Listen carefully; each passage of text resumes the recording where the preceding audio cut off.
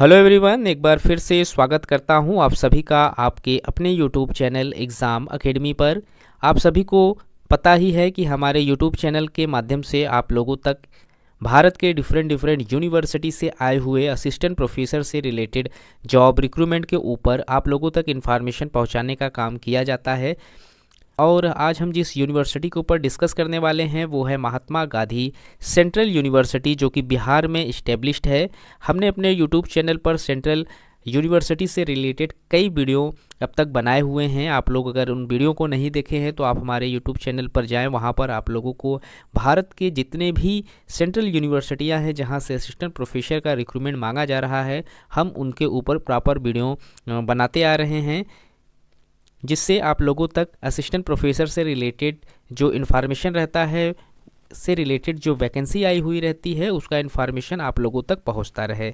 तो आज हम इस वीडियो के माध्यम से महात्मा गांधी सेंट्रल यूनिवर्सिटी से आए हुए असिस्टेंट प्रोफेसर से रिलेटेड जॉब रिक्रूटमेंट के ऊपर बात करेंगे और देखेंगे कि यहाँ पर कौन कौन से पोस्ट में रिक्रूटमेंट मांगा जा रहा है एप्लीकेशन फ़ीस के ऊपर बात करेंगे और बात करेंगे कि यहाँ पर फॉर्म फिलअप करने के लिए जो प्रोसेस है वो क्या है। तो इन सभी चीज़ों को डिटेल्स में समझने के लिए वीडियो में लास्ट तक बने रहें और जिन लोगों ने अभी तक चैनल को सब्सक्राइब नहीं किया है, कृपया चैनल को सब्सक्राइब कर लें ताकि इस तरीके का जो भी इन्फॉर्मेटिव वीडियो हमारे चैनल के द्वारा आप लोगों के लिए बनाए जाते हैं, वो आप तक समय पर पहुँचता रहे।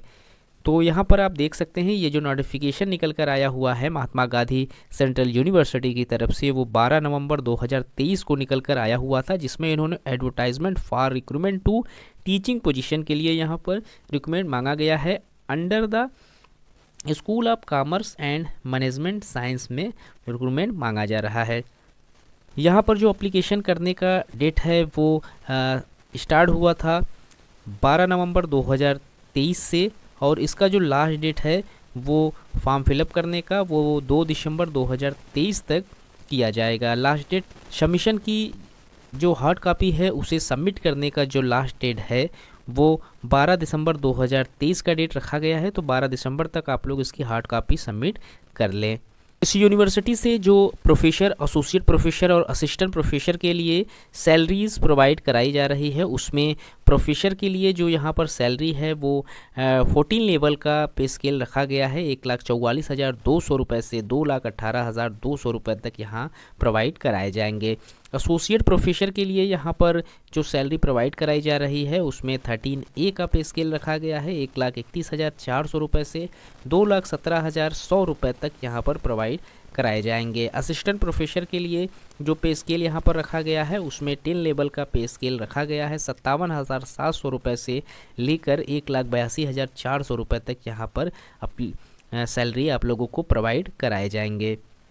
अप्लीकेशन फ़ीस की अगर हम बात कर लें तो यहाँ पर जनरल ओबीसी और ईडब्ल्यूएस e के जो कैंडिडेट हैं, उनको दो हज़ार रुपये अप्लीकेशन फ़ीस देना पड़ेगा। एस सी फीमेल और ट्रांसजेंडर जो कैंडिडेट हैं, उनको किसी भी तरीके का अप्लीकेशन फ़ीस नहीं देना है। अप्लीकेशन फ़ीस में उन्हें एग्जेप्टेड कर दिया गया है।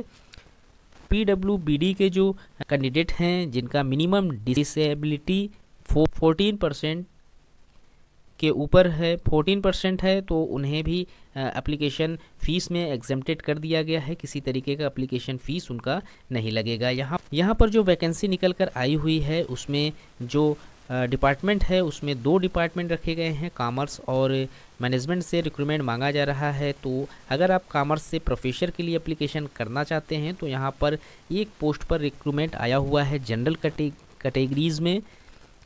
और असिस्टेंट प्रोफेसर के लिए कॉमर्स डिपार्टमेंट से एक सीट रखे गए हैं एस सी कैटेगरीज़ में। वहीं अगर आप मैनेजमेंट साइंस से फॉर्म फिलअप करना चाहते हैं तो यहाँ पर प्रोफेसर के लिए एक सीट रखा गया है ओबीसी डिपार्टमेंट में और असिस्टेंट प्रोफेसर के लिए एक पोस्ट रखा गया है जनरल डिपार्टमेंट से और एक पोस्ट यहाँ पर एससी डिपार्टमेंट से भी रखा गया है। तो यहाँ पर जो एलिजिबिलिटी रखी गई है फॉर्म को फिलअप करने के लिए असिस्टेंट प्रोफेसर के लिए उसमें आप लोगों को 55 परसेंट मार्क्स के साथ रिलेटेड सब्जेक्ट में पास आउट होना ज़रूरी है जनरल कैंडिडेट के लिए। अगर आप एस सी या ओ बी कैटेगरी से हैं तो 5 परसेंट का रिलैक्सेशन मिल जाएगा। साथ ही साथ आप लोगों को नेशनल एलिजिबिलिटी टेस्ट यानी कि नेट क्वालिफाई होना ज़रूरी है, या यूजीसी या फिर सीएसआईआर के माध्यम से कंडक्ट कराया गया हो, या फिर आप लोगों के पास स्लेट सेट की सर्टिफिकेट हो जिसे आपने क्वालिफाई किया हुआ है। अगर ये, अगर इनमें से कोई भी सर्टिफिकेट आपके पास नहीं है तो कम से कम आप लोगों के पास पीएचडी की डिग्री होनी ज़रूरी है फॉर्म को फिलअप करने के लिए। तो गाइस, इस वीडियो में इतना ही। अगर आप महात्मा गांधी सेंट्रल यूनिवर्सिटी, जो कि बिहार में इस्टेब्लिश्ड है, यहाँ से आए हुए प्रोफेसर एसोसिएट प्रोफेसर और असिस्टेंट प्रोफेसर का फॉर्म फिलअप करना चाहते हैं तो ज़रूर से करें। तो मिलते हैं एक नए वीडियो में नए इन्फॉर्मेशन के साथ। तब तक के लिए थैंक यू सो मच